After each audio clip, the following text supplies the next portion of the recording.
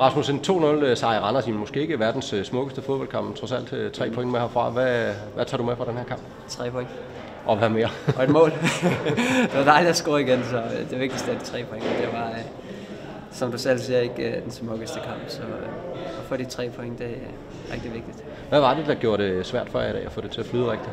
Det var også måden Randers spillede på, at øh, synes, de, øh, de spillede med deres midler en rigtig, rigtig god kamp, og de var øh, gode til at spille i bagrum, og de, vi gjorde det måske også lidt for nemt. Vi forsvarede ikke så godt som hold i dag, synes jeg. Jeg synes, at de, var, de blev farlige øh, lidt for hurtigt, øh, når de mistede bold. Så øh, det var en, en svær modstander, og derfor er det ekstra dejligt at stå med tre point.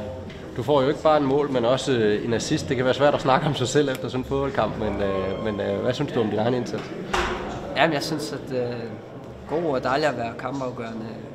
Øh, der er nogle bolde, øh, som, som jeg gerne vil have. Øh, der var lidt skarpe, specielt øh, nogle bolde i dybden til Robert, hvor han laver et godt løb, øh, eller nogle gode løb, øh, hvor jeg synes, jeg skulle være lidt skarpere. Men ellers så, øh, så var det rigtig, rigtig dejligt at være øh, kampafgørende og få scoret et godt mål. Og til trods for, at det ikke flød fuldstændig i, øh, i, i olie i dag, så øh, to kampe, tre point og en målscore på øh, 8-1, som jeg lige regner ud med mine øh, begrænsede evner her. Hvad betyder det for, at jeg har fået den start på foråret?